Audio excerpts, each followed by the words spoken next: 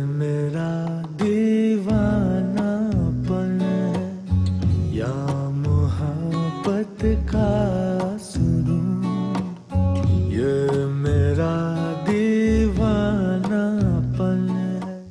الحمد لله رب الرحمن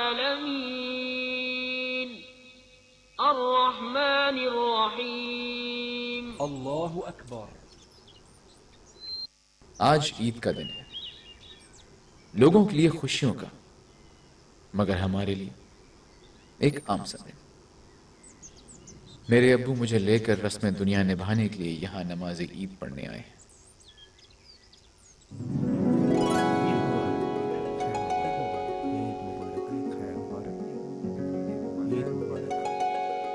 مسکرا مسکرا کے اخلاق سے لوگوں کے ساتھ ملنے والا یہ شفیق انسان جو نظر آ رہا ہے۔ وہ ہے نہیں۔ زمانے نے ان کے چہرے پہ وہ بیزاری اور بے رخی دیکھی ہی نہیں۔ جو میں نے اور میری ماں نے سہی ہے۔ آئیے میں آپ کو حقیقت کی سیر کرانے اپنے گھر لے کے چلوں۔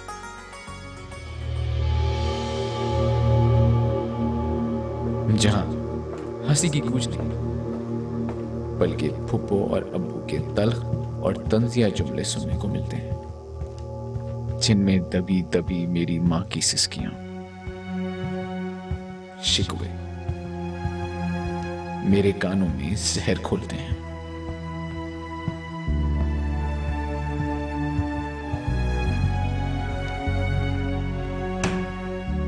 یہ میرے باپ کا کمرہ ہے۔ ان کی زندگی کی طرح خالی اور اداس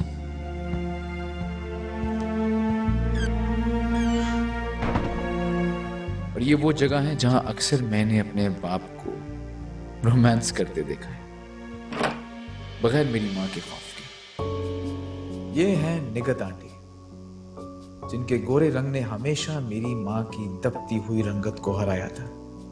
ان دونوں کا پرانا رشتہ آج دونوں کی شادی ہونے کے باوجود بھی قائم ہے۔ بظاہر دونوں اپنے اپنے ہم سفر کے ساتھ خوش و خرم زندگی گزار رہے ہیں۔ مگر جب بھی ایک دوسرے کو دیکھتے ہیں دنیا سے بے نیاز ہو کے ایک دوسرے میں کھو جاتے ہیں۔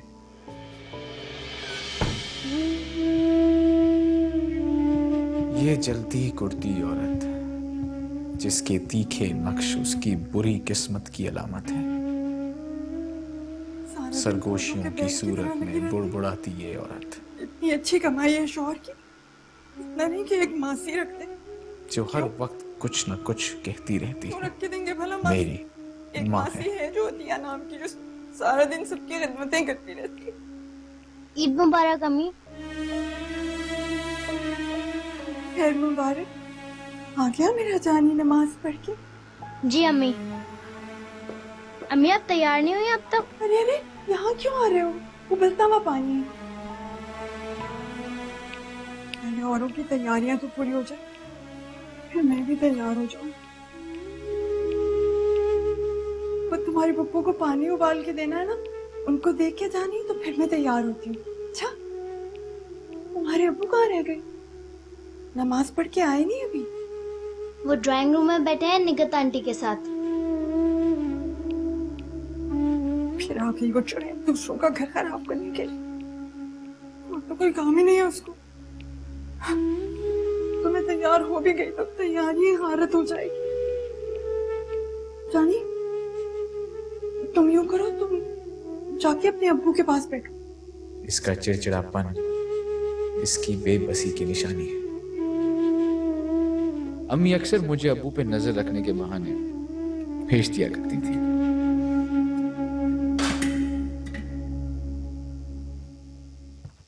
دیکھو یہ چودہ سال ایسے گزر گئے جیسے کل کی بات۔ اور دیکھو میڈیکل کالج میں کسی کو یقین ہی نہیں آتا تھا کہ ہم دونوں کزنز ہیں۔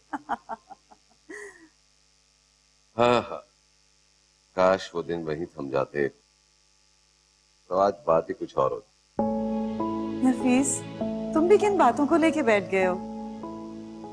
جیسے ہمارے گھر والوں نے ہماری منگنی ختم کر کے اچھا نہیں کیا۔ چھوڑا اب اس قصے کو۔ تمہاری شادی عطیہ سے ہو گئی۔ میری شادی شہباز سے ہو گئی۔ تم اپنے گھر میں خوش۔ میں اپنے گھر میں خوش۔ بیٹا؟ ارے جہانگیر بیٹا یہاں آؤ میرے پاس۔ سلام کرو آنٹی کو۔ کیسے ہو؟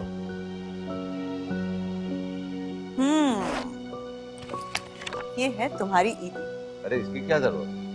عید کا دن ہے بچوں کو عید کے دن عیدی ملتی ہے۔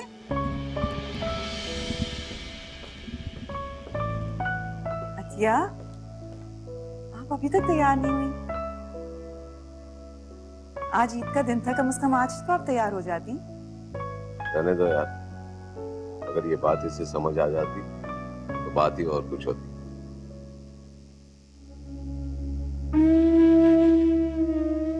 وہ میں کاموں میں مصروف تھی۔ چپ ہو جاؤ۔ کم از کم مہمانوں کے سامنے تو اپنا خلیہ درست کر کے آؤ۔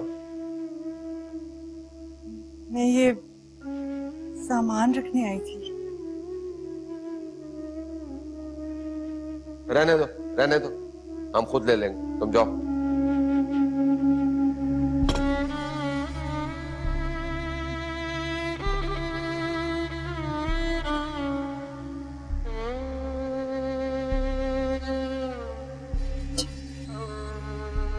میری ماں کی بے قدری اور نگت آنٹی کی فاتحانہ مسکراہٹ ہر بار مجھے عمر میں بڑا اور باشعور بنا دیتی اب میرا باپ اپنے خیالوں کی ملکہ کو لے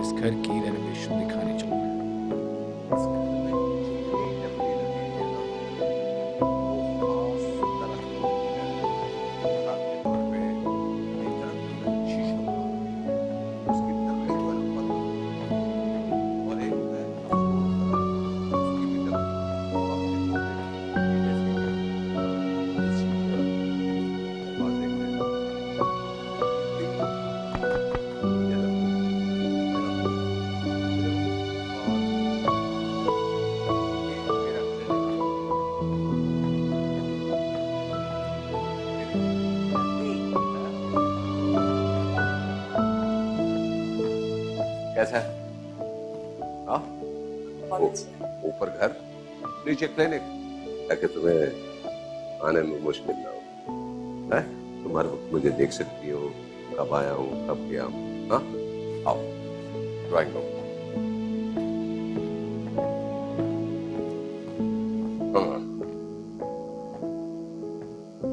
نفیس تمہارا گھر بہت خوبصورت ہے اچھا اور گھر میں رہنے والا تو میں آج سے دس سال پہلے ہی بتا چکی خالد نے مجھے طلاق دے دی۔ اس نے مجھے گھر سے نکال دی۔ اور اس دن مہتاب کی زندگی سے شاید محبت ختم ہوئی تھی۔ لیکن میری زندگی میں محبت شروع ہوئی تھی۔ یہ میرا دیوان میرا دیوانہ میرا دھیان امی کے محبوب شوہر۔ اور رقیب روسیا میں ہی لگا رہا۔ بے چین ہو کے ان کا پیچھا کرنے چل پڑا۔ یہ روم میں نے کمپاؤنڈر کے لیے بنایا۔ جو یہاں کام کرے وہ یہاں پر آرام سے رہ سکے۔ کلینک کی دیکھ بھال بھی ہوتی رہے گی اور اس کی پریشانی بھی دور ہوگی۔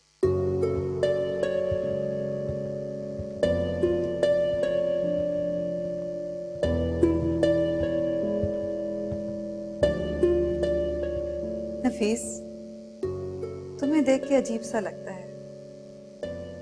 جس طرح کی تمہاری شخصیت ہے تمہارا انداز تمہاری قابلیت تمہیں دیکھ کر تو کوئی بھی رش کر سکتا ہے۔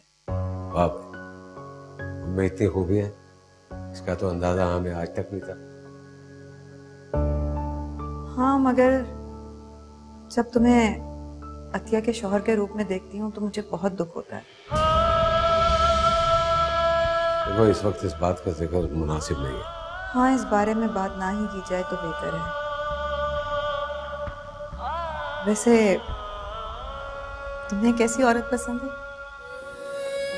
مجھے جس عورت کے پاؤں خوبصورت ہو ان پہ نیل پالش لگی ہو بالوں کا کلر براؤن ہو چال دکھنی ہو قد مناسب ہو آنکھوں میں نمی اور اداسی ہو ناک میں لونگ پہنتی اونٹ ایسے جیسے پھولوں کھل رہا ہلکے اٹھے تو صبح ہو چکے تو شام ہو۔ ابو نے حسن اور محبت کی جو تعریف کی تھی اس کی تشریح محتاب کی شکل میں میرے سامنے تھی۔ میری آنکھیں اس کے حسن میں اور میرے کان اس کے لفظوں میں گم تھے۔ اس کے شوہر نے عید کے دن اسے طلاق دے کر گھر سے نکال دیا تھا۔ اور اس دن مہتاب کی زندگی سے شاید محبت ختم ہوئی تھی۔ لیکن میری زندگی میں محبت شروع ہوئی تھی۔ یہ میرا دیوانہ پن یا محبت کا سرون۔ اندازہ ہوا تھا کہ اس دن کو عید کیوں کہا گیا تھا؟ مجھے اندازہ ہوا تھا کہ اس دن کو عید کیوں کہا گیا میری محبت میرے سامنے میری زندگی کا مقصد اور میری محبت کی تصویر دکھ اس کے حسن اس کا دکھ اور اس کی بے بسی اس کے لہجے کی بے بسی اس کے لہجے کی شیرینی کو ہرا نہیں پایا تھا۔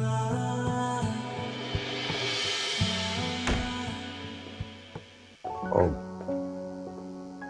ارے مہتاب نگت یہ مہتاب ہے. میرے ساتھ کلینک میں ایز اے نرس کام کرتی ہے. مہتاب یہ ڈاکٹر نگت ہے. ہم دونوں نے ایک ساتھ ایم بی بی ایس کیا تھا. عید والے دن تمہارے ہاتھ میں یہ بیگ؟ uh, پریشان لگ رہی ہو. خیریت ہے کوئی ایمرجنسی وہ خالد نے مجھے طلاق دے دی۔ اس نے مجھے گھر سے نکال دی۔ طلاق کا لفظ معاشرے میں عورت کے لیے داغ تو ہے، لیکن جو تعلق انسان کی روح اور انا کو زخم دے، اس کا ٹوٹنا ہی اچھا ہوتا ہے۔ اچھا ہوا۔ اچھا ہوا، اس نشے سے تمہارا تعلق ختم ہو گیا۔ تم تم اب یہاں رہ سکتی ہو۔ ہو سکتا ہے یہ کمرہ تمہارے لیے بنا ہو۔ مجھے اس دن احساس ہوا کہ کتنا بدنصیب ہوگا وہ شخص جس نے مہتاب کو ٹھکرا دیا۔ کاش اس کی جگہ میں مہتاب کا شوہر ہوتا۔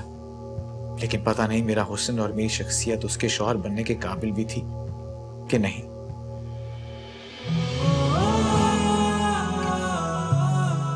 یہ معلوم کرنے میں اپنی ماں کے پاس گیا۔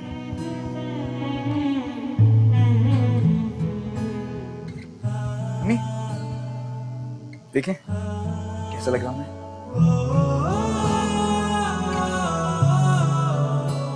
ماشاء میرا چاند جیسا بیٹا۔ رات جیسی سیاحتیہ کا چاند جیسا بیٹا۔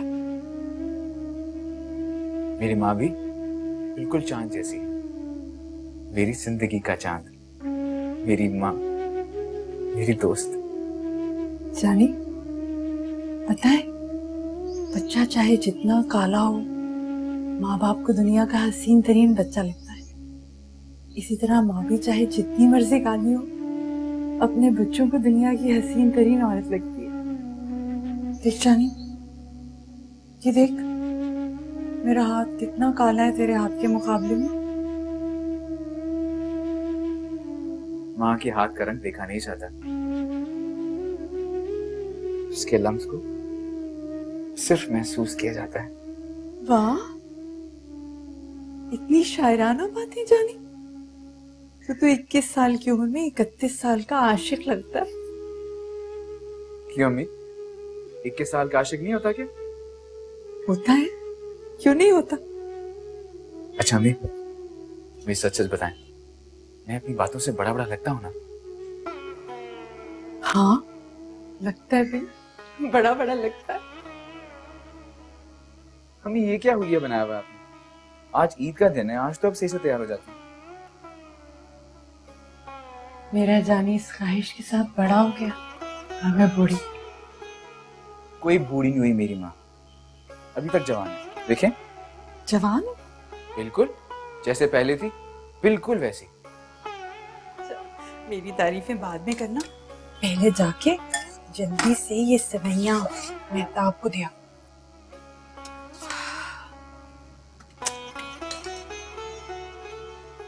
وہ بیچاری تو آج کے دن بھی عید سے بہت ڈرتی۔ اچھا امی بس یہی یا پھر کچھ اور بھی دینا انہیں؟ نہیں نہیں ابھی بس یہی دیا اور جلدی واپس آ کے اپنی چھوٹی پپو کے گھر میں سوئیاں دیا ورنہ عید والے دن گھر میں ہنگامہ کھڑا کر دیں۔ ٹھیک ہے امی میں دیکھ آتا ہوں۔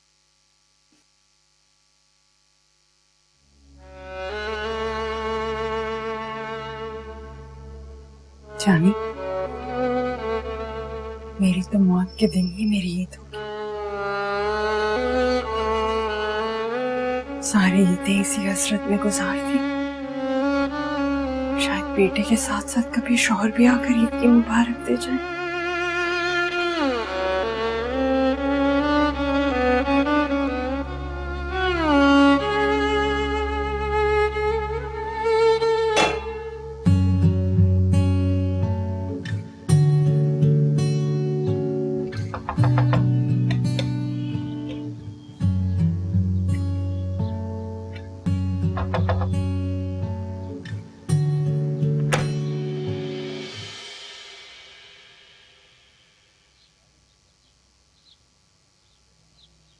ہوا اسے کیا دیکھ رہے ہو وہ امی نے سیویاں بھیجی ہیں۔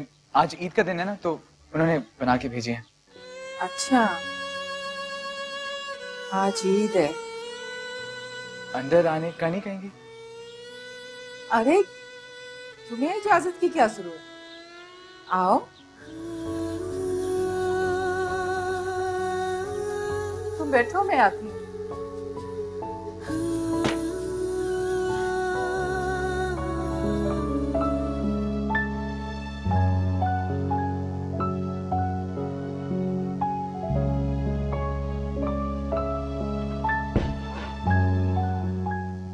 بیٹھے نہیں ابھی تک؟ نہیں آپ عید کے دن تیار ہی نہیں ہوتی؟ کیوں؟ اس لیے کہ میں باقی کے سب دن تیار ہوتی ہوں تو عید کے دن چھٹی کر لیتی ہوں۔ اسے تو عید کے دن سب بچے سے تیار ہوتے ہیں۔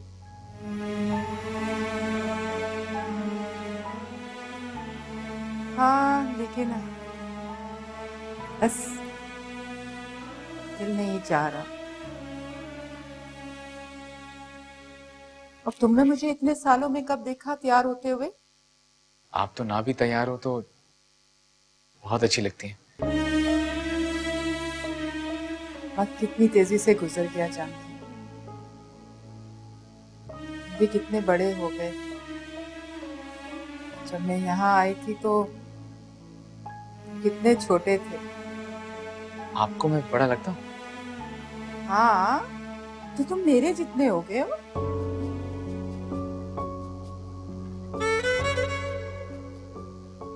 دیکھ رہے ہو آپ مڑی؟ مڑی؟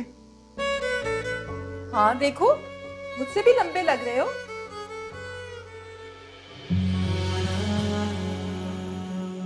جنا بڑے ہونے کا بہت شوق۔ کیوں؟ تاکہ میں سارے کام اپنی مرضی سے کر سکوں مجھے کوئی روکے نہ ٹوکے نہ اس لیے۔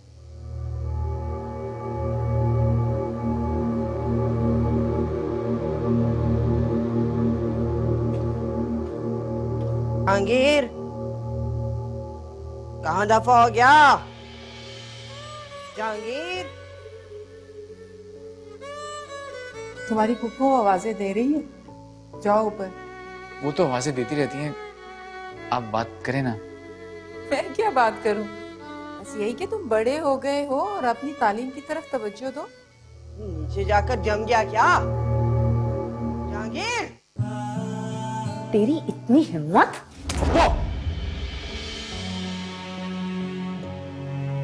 میں نے کہا نا یہ آپ کا آخری تھپڑ تھا یہ میرا دیوانہ پن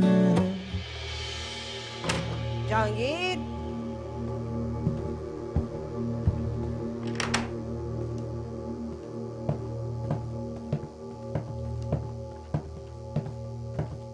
کہاں دفعہ ہو گیا جہانگیر جاؤ اوپر ورنہ وہ نیچے آ کے زیادہ شور ہوگا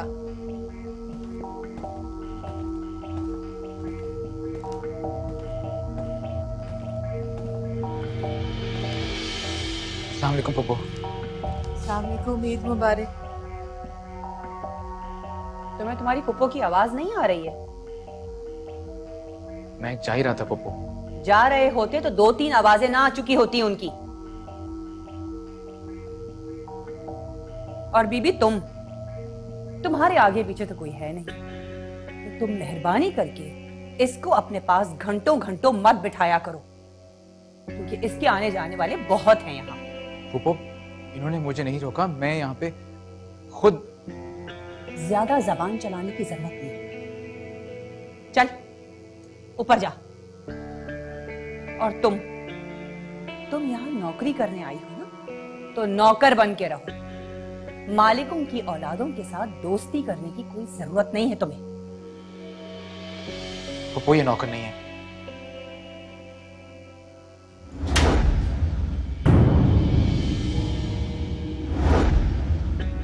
میری بات کاٹنے کی جرت میرے شوہر میں بھی نہیں ہے۔ تو اتنا دلیر کب سے ہو گیا؟ چپ کر کے یہاں سے چلا جا۔ اگر آپا جان کی ایک اور آواز بھی آئی تو میں تیری جان نکال دوں گی۔ پپو یہ آپ کا آخری تھپڑ تھا اس کے بعد ایسا مت کیجیے۔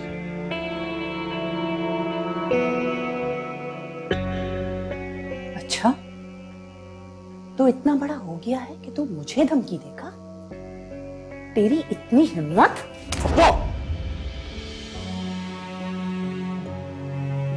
میں نے کہا نا یہ آپ کا آخری تھپڑ تھا اس کے بعد کبھی نہیں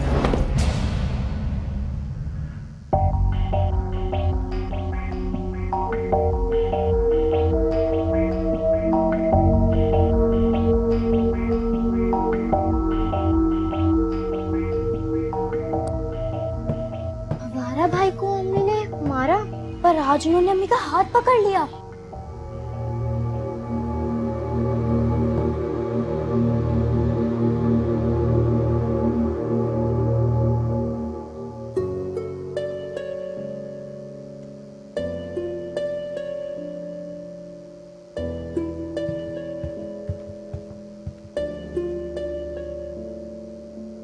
ہزار دفعہ کہا ہے کہ یہ فضول کے چوچلے مت کیا کرو۔ آئندہ یہ بیکار کے سوال مجھے مت کرنا۔ میں تو صرف پوچھ رہی تھی تم جو کہہ رہی تھی اس کا جواب یہی ہے کہ تم کچھ بھی کر لو کچھ بھی پہن لو لیکن میرے دل میں جگہ نہیں بنا سکتی۔ تم جیسی عورت کے ساتھ جس طرح میں زندگی گزاروں یہ میں ہی جانتا ہوں۔ کسی سے ملوانے ساتھ لے جانے میں مجھے شرم آتی ہے۔ دوسری عورتوں کو دیکھا کب؟ میک اپ کر کے کتنی اچھی لگتی ہے۔ اور تم؟ تم اتنی ہی بری لگتی ہو۔ بہتر یہ ہے کہ آئندہ یہ محنت مت کیا کرو۔ تم اس گھر میں صرف اس وجہ سے ہو کہ تم میرے بیٹے کی ماں ہو۔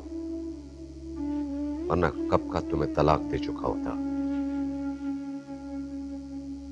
کافی زندگی دل پر جبر کر کے کاٹ لی جو بچی ہے وہ بھی کٹ جائے گی۔ خود کو مصروف اس لیے رکھتا ہوں کہ تمہیں کم سے کم دیکھو یہ کیا طریقہ ہے کمرے میں آنے کا؟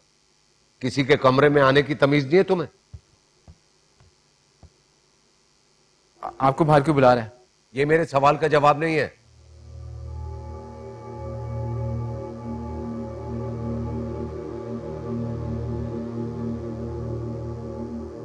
مجھے نہیں پتا تھا آپ یہاں پہ ہیں اس لیے میں آ گیا۔ کون بلا رہا ہے؟ آپ کا کوئی دوست آیا کوئی نام تو ہوگا۔ خود جا کے دیکھ لینا۔ تابدہ ٹھیک کہتی ہے۔ ہمارا گرد ہو گیا۔ کام چور ہو گیا یہ۔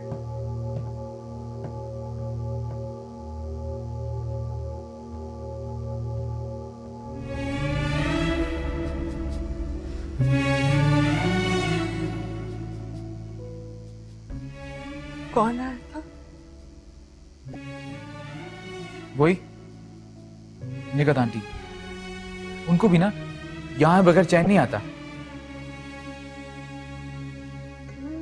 تم ان سے ملے نہیں؟ نہیں۔ جب آپ کو وہ نہیں پسند تو میں ان سے کیوں ملوں؟ تمہیں ایسا کیوں لگتا ہے جانی؟ ماں اس گھر میں چاہے کسی کو آپ کی پرواہ نہ ہو لیکن آپ کے بیٹے کو آپ کی فکر ہے۔ میں نے دیکھا ہے۔ جب نگت آنٹی اس گھر میں آتی ہے نا، آپ بہت پریشان ہو جاتی ہیں۔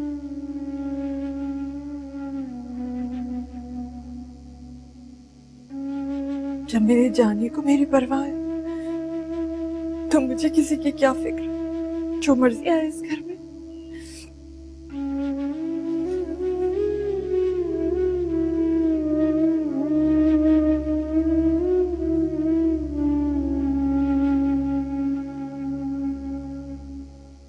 شیو نے کی تو یہ کٹ کیسے لگا؟ کیونکہ میں بڑا ہو گیا ابو۔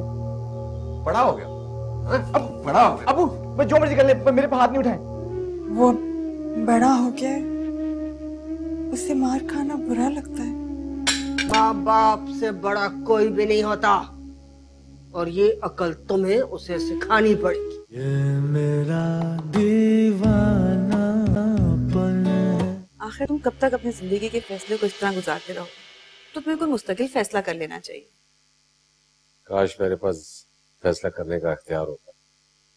میں تو دوسرے کے فیصلوں پر ماتم نہیں کر سکتا ہوں۔ مجھے تو حیرت ہے کہ تم نے ابھی تک دوسری شادی نہیں کی۔ ورنہ عطیہ جیسی عورتوں کے شوہر تو فوراً دوسری شادی کر لیتے ہیں۔ تم کسی ضرورت مند بیوہ سے یا طلاق یافتہ سے بھی تو شادی کر سکتے ہو جس کا تم سہارا بنو۔ بھئی اگر کوئی ایسی ہے تو مجھے اس کا پتہ بتا دو۔ تمہارے کلینک میں جو نرس ہے۔ وہ بھی تو اتنے سالوں سے تمہارے ساتھ کام کر رہے طلاق یافتہ ہے اسے سہارے کی ضرورت ہے۔ تم اس سے شادی کیوں نہیں کر لیتے اور اس کا سہارا بن جاتے؟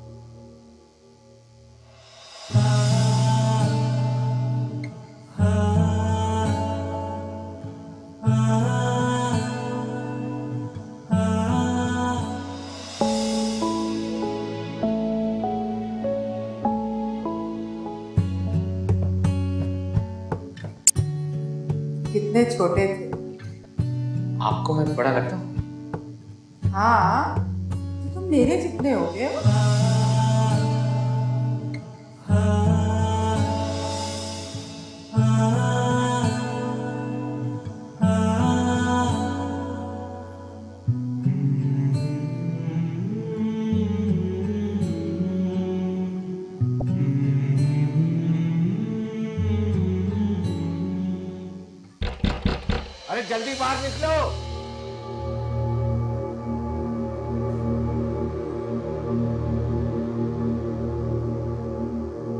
زندہ ہو یا مر گئے؟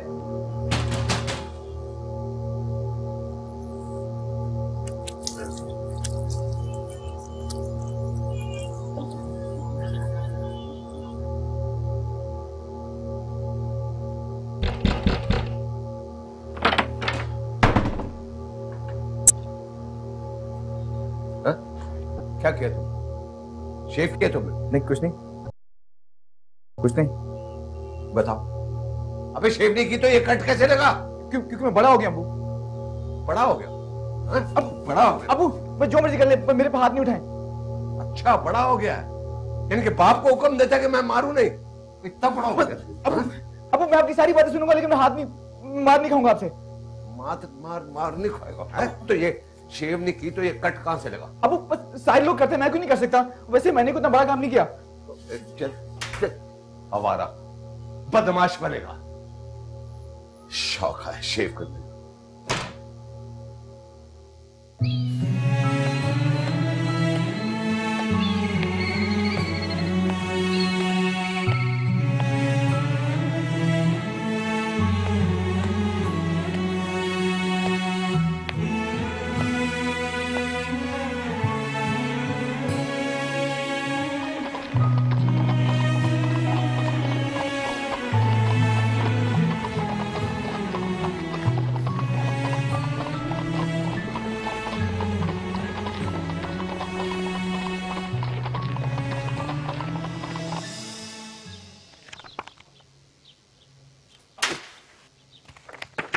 یہ ریزلٹ ہے تمہارا۔ ہاں؟ یہ کارنام ہے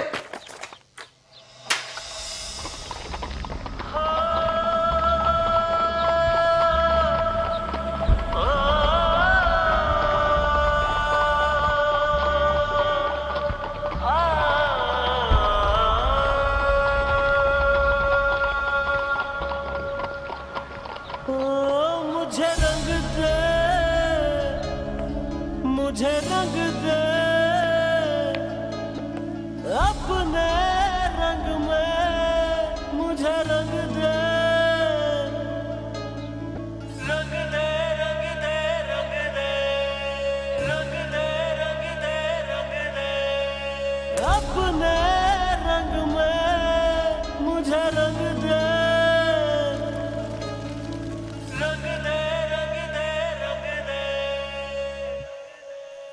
جہانگیر کو بلاؤ کھانے پہ۔ جی وہ تو صبح سے لوٹا ہی نہیں۔ کیا؟ جوان بیٹا اب تک گھر نہیں آیا ہے اور آپ اتنے مزے سے کھانے سجا رہی ہیں۔ کوئی فکر وکر ہے آپ کو کہ نہیں؟ ویسے ویسے حد ہوتی ہے لاپرواہی کی بھی۔ ارے کسی کی شہ نے تو اس کو آوارہ بنایا ہے۔ سارا دن گھر سے غائب رہتا ہے پڑھتا لکھتا نہیں ہے۔ ایک ہی فلم لگا کے بیٹھا رہتا ہے۔ مجھے تو لگتا ہے وہ لڑکا دیوانہ ہو جائے گا۔ میں کیا کروں؟ میری زندگی کے فیصلے کی بنیاد آپ لوگوں نے غلط رکھی۔ یہ سلسلہ چلتا رہے گا۔ نسل در نسل میں برباد ہوتا رہوں گا۔ تم ہی نے اس عورت کو سر پر چڑھا رکھا ہے۔ ہماری طرف سے تمہیں اجازت ہے۔ تم آپ دوسری شادی کرو۔ جی ہو اپنی زندگی۔ اس میں میرا کیا قصور؟ شکل سے عقل عقل سے عمل سارا قصور تم ہو۔ جو قصور میں نے نہیں کیا مگر اس کی سزا جھیل رہا ہوں۔ ویسے اگر شکل اچھی نہ ہو نا تو انسان کو امال اپنے ضرور اچھے کرنے چاہیے۔ گھر داری آپ کو آتی نہیں ہے عقل وکل نام کو نہیں ہے۔ ارے میرے بھائی کو کم سے کم اولاد کا سکھ تو دے سکتی ہیں آپ۔ ایسا کیا کیا ہے اس نے؟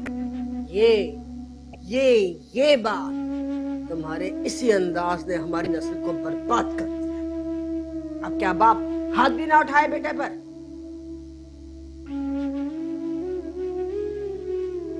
وہ بڑا ہو کے اسے مار کھانا برا لگتا ہے۔ ماں باپ سے بڑا کوئی بھی نہیں ہوتا۔ اور یہ عقل تمہیں اسے سکھانی پڑے گی۔ ورنہ اپنے بیٹے کو لے کر جہاں جانا چاہتی ہو چلی جا۔ ہمارا بھائی آج بھی دوسری شادی کر سکتا ہے دوسری بیوی لا سکتا ہے سمجھی تم؟